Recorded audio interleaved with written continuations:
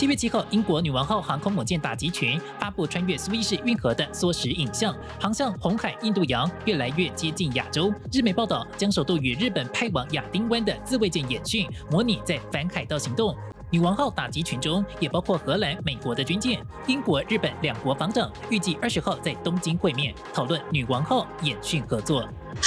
另外，七月五号起，澳洲、日本、韩国、美国四方海军在澳洲东岸附近海域举行太平洋先锋二零二一演习，维护印太地区的自由航行和稳定。英国金融时报七月一号报道，日本要求美方分享保卫台湾的计划，美方则想逐步分阶段加强与日方合作。五号，日本副首相麻生表示，中共若犯台，美日应该一同防卫台湾。麻生副首相他的讲话是相当于对中共进行了一次极限测试，或者说叫做红线的测试。那么这个测试的结果呢，是中共选择了暂时的收缩。虽然中共外交部、国台办和驻日大使先后强硬声明，不过隔天六号，中共发布关于黄海中部重大军事活动的航行警告，六小时后却撤销。新唐人亚太电视网观点张东旭整理报道。